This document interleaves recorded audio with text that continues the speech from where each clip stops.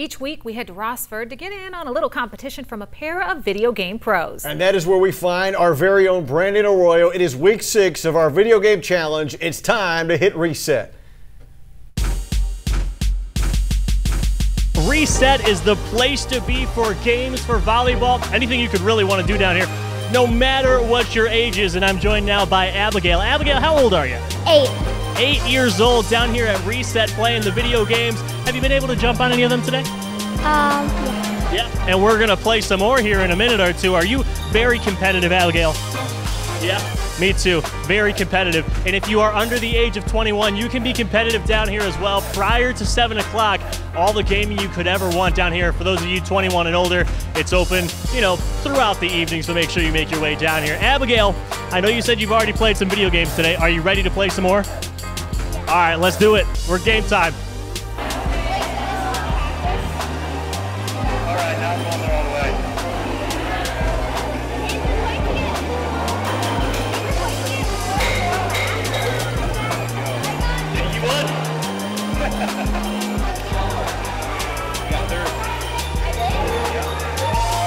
I'm joined by the owner operator. Go ahead and introduce yourself. My name's Jeremy Fitzgerald, owner of Reset, Cameo's Pizza, and Spike's Beach Bar. So whether you're inside or outside, and also no matter the age, it's a little more restricted in the evening. But prior to seven o'clock, those under 21 also able to come in and enjoy the games as well, right?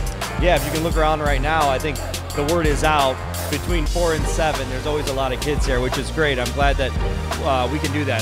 In the Toledo location, we didn't offer that at first, but we're really happy that everyone, that families can enjoy the place too. And I think everyone's really understanding the rule that after seven o'clock, no kids allowed, and becomes more of an adult entertainment spot. It has been an honor to play with you here tonight. Congratulations. All right, guys, every single week we are down here at Reset. We will see you right back here next week.